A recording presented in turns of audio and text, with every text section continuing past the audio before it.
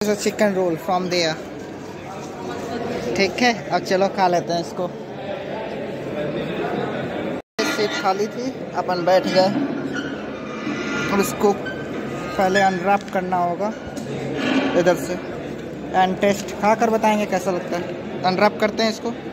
So this is unwrapped अब इसको खाते हैं, ठीक है?